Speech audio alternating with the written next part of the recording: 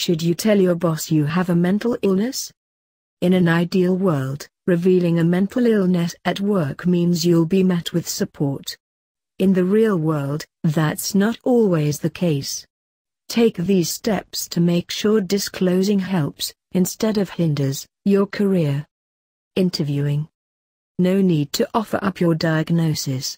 Studies show companies are reluctant to hire candidates with mental disorders. And it's hard to prove your health was what took you out of the running, says Chad Saunders, a California attorney who specializes in workplace discrimination. On the job. Speak up if you need help. Request a meeting with both your direct manager and HR to outline, specifically, what you'd like your workplace to provide, for example, a flexible schedule so you can get to therapy sessions.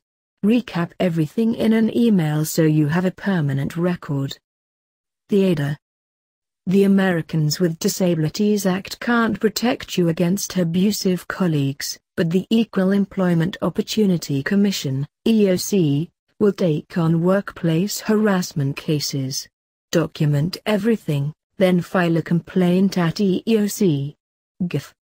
Last year, 41% of all harassment cases came out in the employee's favor. One final note.